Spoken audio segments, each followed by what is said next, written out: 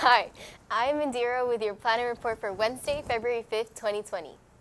A new kind of Coke quietly hit U.S. store shelves earlier this month.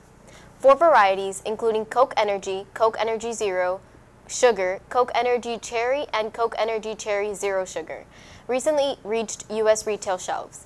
The Coke Energy drink hybrid beverage came, became available in international markets last year.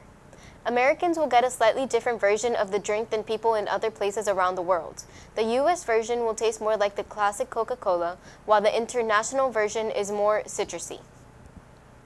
Coke Energy, which is made with guarana extracts and B vitamins, has 114 milligrams of caffeine per 12 ounce serving. A 12 ounce can of regular Coke has about 34 milligrams of caffeine.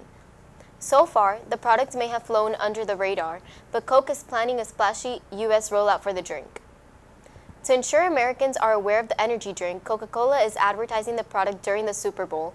It also plans to offer samples across the country. That's all for Planet Report. Be sure to check back each day for Planet Report, Knightline, and more. Hit that like button and subscribe.